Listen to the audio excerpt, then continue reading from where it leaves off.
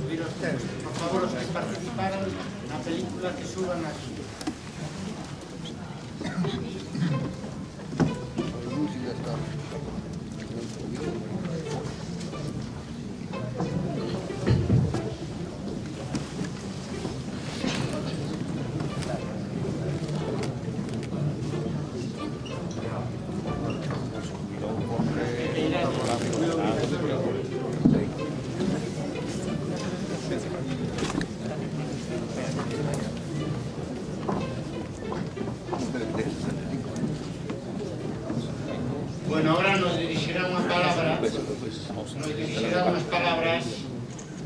quen o artista principal eh, que, que creou esta extraordinaria e magnífica eh, película que retrata, como xa dixen, como se foran mil discursos ou mil libros o que foi a historia dunha vida, dunha familia, dunha empresa, dun país. Steve Escler.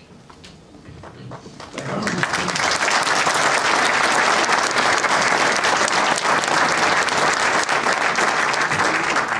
Bueno, eh, no falo galego y mi español es bastante mal, entonces discúlpenme. Bueno, gracias a ustedes que han venido hoy para ver un trabajador del siglo XX. Finalmente la gente en Vigo tiene la oportunidad de verlo. Hace unos años estaba trabajando acá en una productora pequeña. Mi compañera de trabajo era Antía Amoada. Eh, un día me dijo que su primo Carlos va a hablar en un acto en la Casa del Libro. El padre de Carlos escribió sus memorias, o Rabas de Ardea, y ya estaba publicado. Me pidió que nosotros filmamos el acto. Ahí grabamos el lanzamiento del libro y entrevista con Carlos. Y hablamos de la posibilidad de hacer un documental sobre su padre. Um, uh, yeah. Manolo, padre Ca- Manolo. Uh, y como después de una vida tan dura luchando, decidió escribir sus memorias.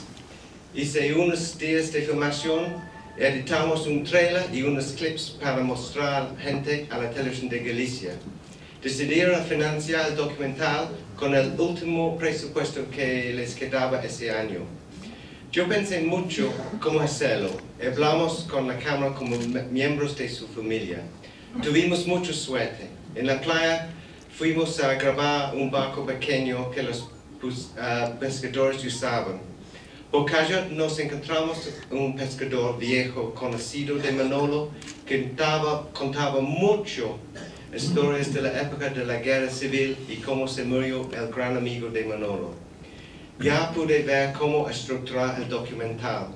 Carlos, mi estará, Carlos estará mi guía. También decidí grabar secciones del libro con el voz de Antonio Ojeo. Pero primero tuve que seleccionar qué partes del libro, porque no voy a grabar todo el libro, ¿verdad? Así sentí yo en la sala con un diccionario gallego-español y otro español-inglés. La esposa de Manola a Carmen nos ayudó mucho y es una pena que no pude estar acá con nosotros esta noche. No tuve eh, un guion exacto, pero solamente unas ideas. Como un día fuimos a ver eh, el bombo al hombo de Manolo en el trastero de su piso. Con Carlos y Carmen grabamos la escena como sea. Y claro, sal- salió muy bien porque fue un momento actual, triste, lleno de memorias y gracioso a la vez. Cuando Carlos se dijo que sacar las baterías porque no tiene uso, ella dijo que se queda ahí. En la, Eh, en la edición ya tuvimos la estructura, pero también tuvimos que buscar qué ponemos en los cachitos del libro con el voz de Manolo. Carlos me ayudó mucho buscando fotos y archivo. También grabé en Vigo muy temprano un domingo en el casco viejo. En Vigo me ayudó mucho en postproducción Miguel Taboada, que está ahí. Um, uh, uh, y, y- y ahora es un gran amigo. Él hizo magia con las fotos, la mezcla de música y voces y los gráficos. Gracias también a Oscar Díaz por su ayuda en rodaje, Antonio Ojeo para prestar su voz y Gerardo Santome por la música. Ya vio el documental Carlos y su madre en la residencia de viejos cerca de Samir. Llevé, llevé la cinta final a la de Galicia, que le, lo encantó. Pero de mala suerte tuvimos elecciones antes de la transmisión y ganó PP. Cambió la dirección de televisión de Galicia por una razón u otra. Um, no quiso poner uh, este retrato de un izquierdista de, de, de, los años de Franco. Bueno, entonces ahí en los archivos de de Galicia está en un instante un documental tristemente esperando su momento. Un trabajador fue un logro profesional, fue el logro profesional más importante de mi tiempo en Galicia. Y aprendí mucho de la historia y los conflictos tan importantes del siglo XX en España. También gané unos grandes amigos y gracias a todos.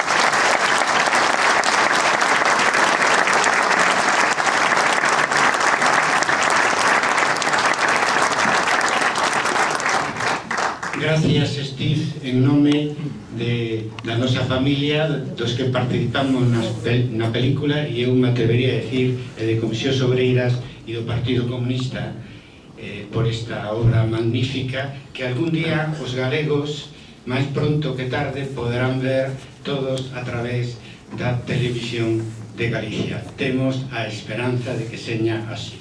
Para despedirme, eh, un recordo eh, de catro persoas que participaron na película e que non estamos entre nós Carmen Guimeráns Mucha, miña nai que morreu o ano pasado Tina Fernández, a prima de Manolo de Coruso, que morreu o ano pasado Manuel Cajiao Ferrol o amiguiño de Manolo de tantos anos en Barreras que morreu e o ano pasado e Pepe Cameselle ese representante da nova xeneración que tanto admiraba meu pai que morreu tamén o ano pasado máis novo que os outros verdad? Eh, pois bueno, como decía Xavier Castro meu compañeiro na Facultade de Geografía e Historia de Santiago na reseña que figo que fixo do libro cando morre un vello é como unha biblioteca que arde Sen memoria non hai futuro. Vivan os traballadores.